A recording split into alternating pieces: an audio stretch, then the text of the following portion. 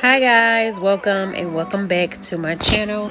If you guys are new here, please hit that subscribe button and become part of my YouTube family. So in today's vlog, you guys, I am doing a quick recap of my trip to the LA Fashion District. If you are a boutique owner, you own any kind of store, need fabric, designer, you need to visit the LA Fashion District. So our first stop was at this diner that was right outside of our hotel, which is called Ruby's. Really good food, really good vibe. Um, loved it to death. I did not get a picture of our hotel, but we did stay at the Doubletree in Commerce, which is about 10 minutes from the LA Fashion District. This is a shopping plaza that was right outside of our hotel. So, yeah. All right, so on to the district. This is our whip for the week um, we did have a rental car. So if you're planning to go to the district, do not use Uber. Go ahead and get you a rental car. You can go through your airline and get a significant discount. So this is California Skyline. So I decided to just get a view of it because your girl is from down south in the country. Our buildings are not that tall.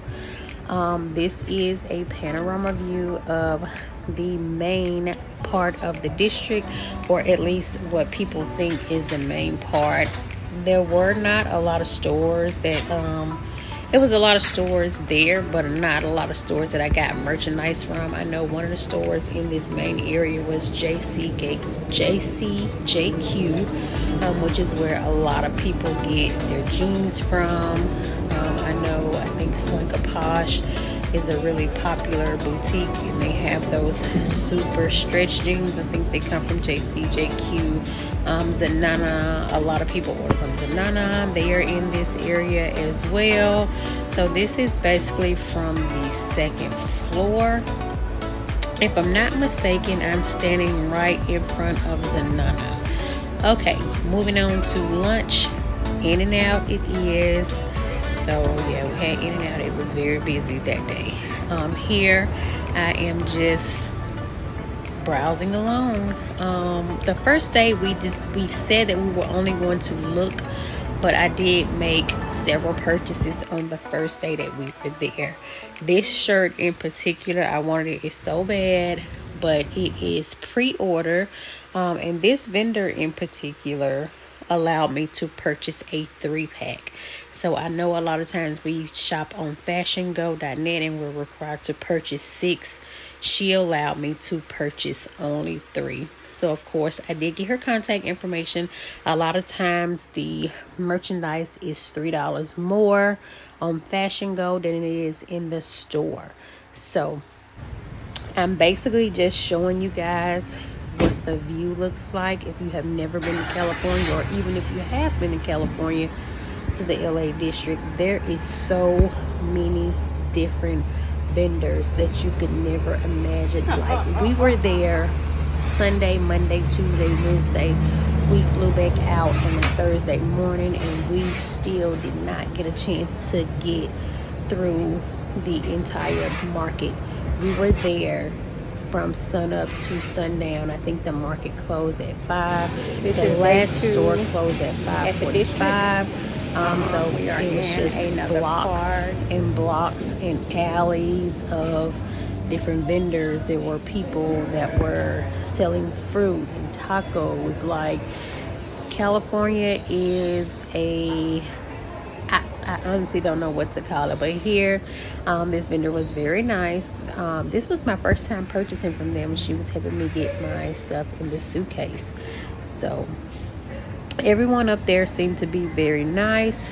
Um, willing to help, um, letting us know, you know, hey, you can contact me on WhatsApp or, you know, there's so many different vendors that is not on Fashion Go. You wouldn't dare, you wouldn't think that it was that many vendors that was not on Fashion Go. Fashion Go charges them a fee and a commission. So a lot of vendors do not use Fashion Go. This is another block of vendors. we were there when I say from sun up to sundown. Um, parking, I want to say parking is about two dollars for so many different hours. For so many hours, I think maybe two hours or so, and it's it's based on the time of day. So right here is kind of like a parking meter. It does take debit and credit cards. Um, so or you can put your coins in there, but it does not take dollar bills. So sorry I keep putting my hand in the way, but here we was at one of my favorite vendors which is high five. Um, your girl um, boss mama jackie. I saw boss mama jackie in high five. I could not believe it. I was actually sitting at the table waiting on my order and i said i wonder if jackie is in the district today. And lo and behold she walks in so yeah this is like an alley now back in Mississippi, honey, you stay out of alleys because they are dangerous. But here in LA, sis, um, yeah, you can go in alleys.